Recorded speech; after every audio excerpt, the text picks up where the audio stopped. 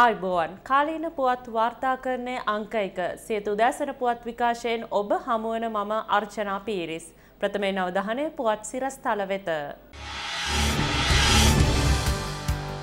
රටේ න්‍යායපත්‍ර හදන අය ගැන කියන ජනපති.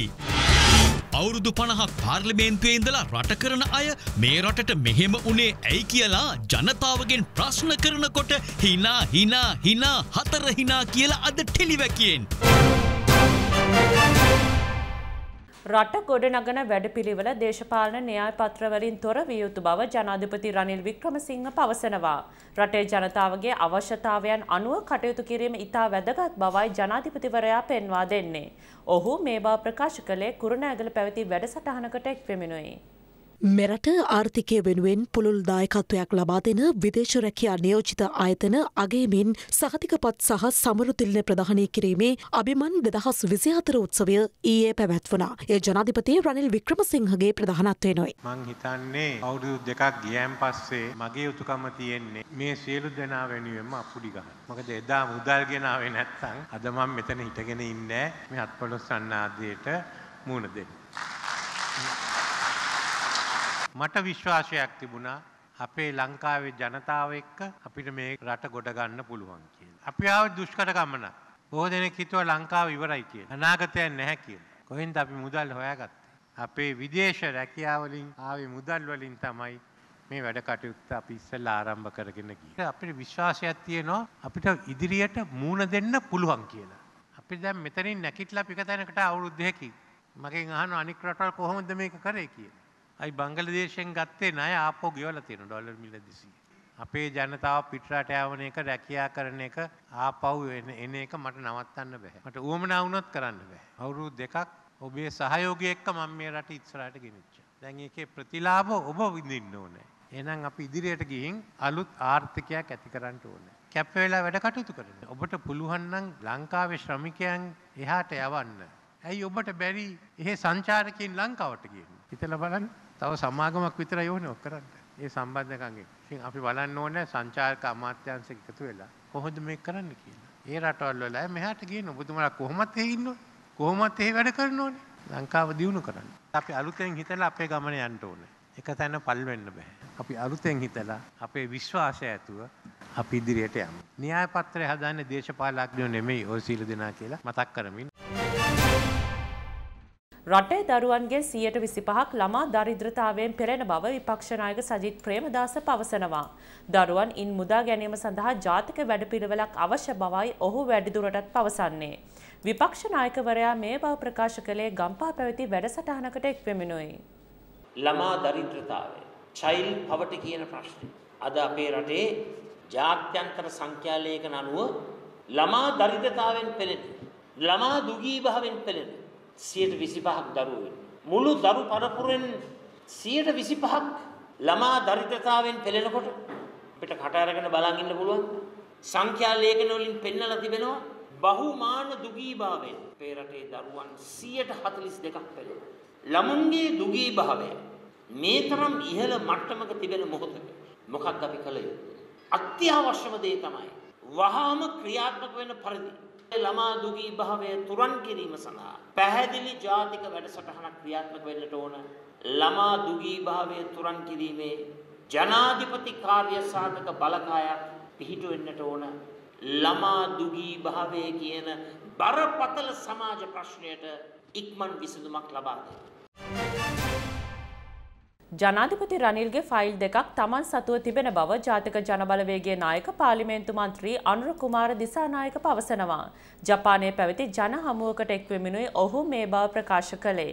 අපිට කිසිදු පුද්ගලයෙක්ගෙන් පලිගැනීමේ චේතනාවක් නැහැ. ඒ කිසි කෙනෙක් එක මට පෞද්ගලික පෞද්ගලික අරෝවක් නැහැ. විසඳගන්න නඩුවක් තියෙනවා. අද අපේ රට මේ තරම් දුප්පත් භාවයට පත් වෙන්න මේ රටේ මහජනයාගේ දීපල කෝටි ප්‍රකෝටි ගණන් හොරකම් කරපික බලපාලා තිබෙනවා. රනිල් වික්‍රමසිංහ පහුගියදා කිව්වා මං ගාව තියෙන්නේ හිස් ෆයිල් ෆයිල් වල තොරතුරු ඔහු ගාව තියෙන්නේ කියලා. මං කියන කතාව. රනිල් වික්‍රමසිංහට මම කියන්නේ මා සතුව තිබෙන ෆයිල් වල තිය සියලු තොරතුරු තියෙනවා. ඒ විතරක් නෙවෙයි. රනිල් වික්‍රමසිංහගේ ෆයිල් දෙකකුත් මං ගාව තියෙනවා. එනිසා අනිවාර්යෙන් පරීක්ෂණ කරනවා නීති අමුට ගෙන යනවා පවරගත හැකි හැම දේපලක්ම පවරගන්න. මේ අපරාධ පිළිබඳවද පරීක්ෂණ කොට නිසි පරිදි ඒ අය අධිකරණ හමුවට පමුණුවනවා. පාස්කු දවසේ බෝම්බ ප්‍රහාරයෙන් තුවල දෙන්නයි මහත්තයයි මිය ගිහින් තුවාල ලබලා ඉතුරු වෙච්ච අවාසනාවන්ත අම්ම කෙනෙක්.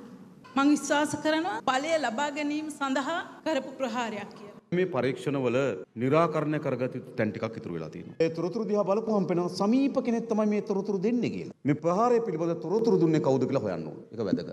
රට ඇතුලේ සිදුවන ඕනෑම පිපිරීමක් වළක්වා ගැනීම සඳහා ඉන්න කණ්ඩායම් ප්‍රහාරය සැලසුම් කරු වෙනවා. ඒ රට හැමදාම අනාරක්ෂිතයි. ප්‍රහාරය සිද්ධ වෙනවා නම් ඒ ප්‍රහාරය වළක්වා ගැනීම සඳහා ඉන්න කණ්ඩායම් ප්‍රහාරය සැලසුම් කරු වෙනවා නම් හෙටත් අපේ රට අනාරක්ෂිතයි. එනිසා මේක කාලයේ වැලිතලා විසින් හෝ ඉතිහාසය විසින් හෝ කඳුළු හලලා හෝ කෙලවර කර ගැනීමට කිසිසේත් මිට නොදිය යුතුයි. එනිසා අපි ඔබට සහතිකයක් දෙන ජාතික ජන බලවේගයේ ආණ්ඩුවක් කරතේ මේකේ අග මුල අපි විසඳලා දෙනවා.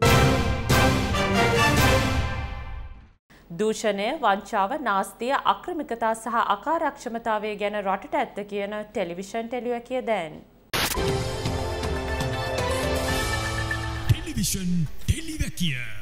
අදලියන්නේ පන්සේ හතලිස් හතරවැනි ටෙලිවැකිය නේද. ජෝබයිඩන්ගෙන් ආරම්භ කරම හොඳේ ජෝබයිඩන් ජනාධිපති තරගෙන් ඉවත් වනා.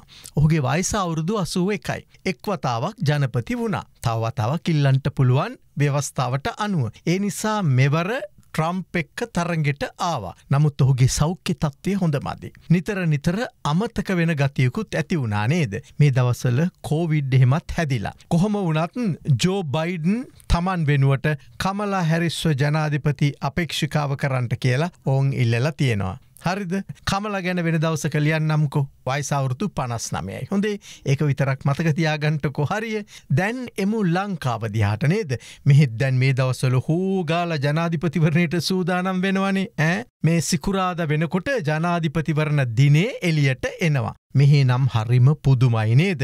අපි දන්නවා මේ රට හදන තැනට කියන්නේ පාර්ලිමේන්තුව කියලා රට හදන තැනට හොඳේ රට කන තැනෙහෙම නෙමේ හදන තැනට. රටේ ආර්ථිකය ගොඩගන්ට සැලසුම් හදල ඒවා ක්‍රියාත්ම කරන වගකීම අපි පවරන්නේ කාටද අපේ නියෝජිතයන්ට. දැන් මේ පාර්ලිමේන්තුවේ වැඩිම කාලයක් ඉඳලා තියෙන්නේ කවුද මහින්ද රාජපක්ෂ. එක්දහස් නමසේ හැත්තෑවිදි තමයි පාර්ලිමේන්තු ඇවිල්ල තියෙන්නේ හොඳේ ඒ කියන්නේ දැනට අවුරුදු පනස් හතරක් විතර පාර්ලිමේන්තුවේ හරිය තුන් වතාවක් අගමැති දෙවතාවක් ජනාධිපති මැති ඇමතිකම් දර්ලා තියෙනවා ඇත්තිවෙන්ට හොඳේ අදත්න් පාර්ලිමේන්තුවේ. ඉළඟට ජනපති රනිල් නේද අයියයි මල්ලි වගේ. එක්දහසමසිය හැත්ත හතේ පාර්ලිමේන්තුවට ඇවිල්ල තියෙන්නේ. දැන් අවුරුදු හතලිස් හතක් පාර්ලිමේන්තුවේ හොඳේ හතලිස් හතක්. අගමැතිකම හය වතාවක් දැරවා. දැන් අනුප්‍රාප්තික ජනාධිපති නේද මැති ඇමතිකම් බඩ්ඩ පිරෙන්ඩ දර්ලතියෙන හරිය දැන් මේ විදිහට බලන්ට දිනේශ් ගුණවර්තන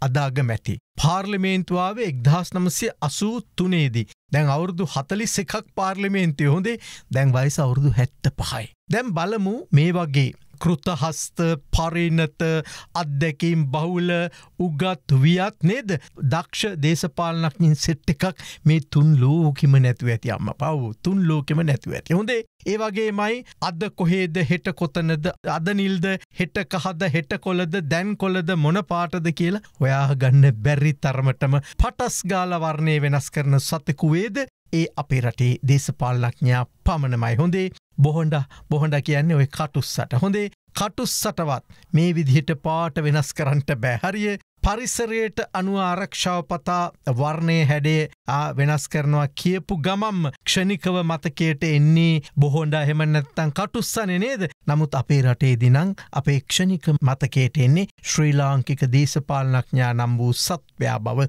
අවිවාධාත්මකයි හරද? ඒ තරමටම වෙනස් කරනවා. ඒකට හොඳම උදාහරණය මේ දවස්සල එක එක වේදිකාවල නැගලඉන්න සෙට්ටක දිහා බලන්න. සමහරු අමූ නිර්වස්ත්‍රාවෙන් හොඳේ. ඇයි?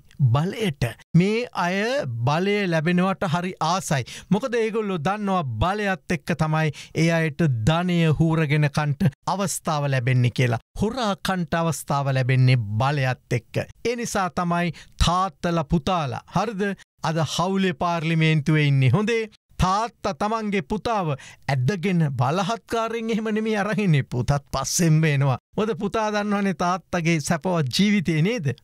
මේ ලෝකයේ මෙහෙම පිනට හැමදේම ලැබෙන. හරද එක්කම එක ජොබ් එකයි තියෙන්නේ මන්ත්‍රීකම මැති ඇමතිකම් හරි අය අමුතුවෙන් කියන්ට දෙයක් නෑ තර්ක විතර්ක නෑ ඔය ගැන. මේ විදිහට පිනට කාලා ඊට පස්සේ රටත් කාලා අපේ ජීවිතත් කාලා දැං අහනවා අපිට මෙහෙම වුණේ ඇයි කියලා හිතාගන්ට බැහැල්ලු. හරිද අපිට මෙහෙම වුණේ ඇයි කියලා හිතාගන්ට බැහැල්ලු. අහන්ටෝය ජනපති රනිල් ඊය කියපු කතාව මම හැත්තෑටේ කටාවලට ගිහාම ගුවන් තොට බලත් තිබුණේ. ටකරංගහපු ෂෙඩ් වගේ ඇත්තිබුණේ. අද කොහොමද කී දෙන ගිහින් තියෙනද කටාවලට කී දෙන ගිහින් තියෙනද ඩුබායිවලට ඩුබායිල පොඩි ගොඩ නැගිල්ල. අදයා බලන්නකොට අපිට මොකක්ද උනේ කියලා හිතන්නවා. මෙහෙමයි අපිට නම් හිතාගන්ට පුළුවන්. හරිය ඔය කතාව අහගෙන හිටපු ඔය තමුන්ල ඉස්සරහපිට හිටපු ජනතාව පාට තොප්පියකුයි පාට කන්නාඩියකුයි දාගෙන හිටපු නිසා උන්දලාට ඕක තේරෙන් නැතුව ඇති. එම නැත්තං හාල් කිලෝ විස්සට හරි බත් පැකට්ටකට හරියාවනං ඒත් තේරෙන්නේ නෑ. හොඳේ එහෙම නැත්තං ඕන කෙනෙකුට මේක තේරෙනවා. අවුරුදු හතලිහක් පණහක් පුරා අපේ දරුවන්ට හිංගන රටක් ඉතිරි කළේ ඔහෙල කියලා. මේ ප්‍රශ්නය අහනායම තමයි මේ රටට මේ කල උදා කළේ කියලා. ඔවු අවුරුදු පණහකට ආසන්න කාලයක් රට හදන්න ඕන තැන හිටපු උන්දලා. හරිද රට හදන්න ඕන තැන හිට පුන්දල අදනිකං පුංචි බබාල වගේ කටේ චන්ද සූප්පුුව ගහගෙන චන්ද සූප්පෝ කටේ ගහපු ගමන් නේද පුංචි බබාල වගේ තමයි ප්‍රශ්නහන්නේ ජනතාවගෙන් අහනුව ඩුබායි දියුණු වුණ කටාර් දියුණු වුණ ජපානය දියුණු වුණ අහවල් රට දියුණු වුණ මේක දියුණු වුණ අරක දියුණු වුණ ඇයි අපිට බැරිවුණේ කියලා. අපට බැරිවුණේ දිගින් දිගටම ඔහෙලව විශ්වාස කරලා ඔහෙලට රැවටිලා මේ රටේ මිනිස්සු දිගින් දිගටම චන්දේදීපු නිසා කියලා මේ පාරවත් තේරුම් ගත්තේ නැත්තං ඉතිං ඉතිරිටිකත් හබක් තමයි කියලා ඕන් අද ටෙලිවැකිය අවසන් කලා හරිය. එම පෝතත් සමගින් සියත උදැසන පුවත් විකාශය මින් නිමාවට පත්වනවා ඔබට සුබ දවසක්. රටේ ලෝකෙ සිදුවන උණුසුම් පුවත් දැනගන්න සියත නිවස් YouTube චැනල් එක අදම සබස්ක්‍රයිබ් කරන්න.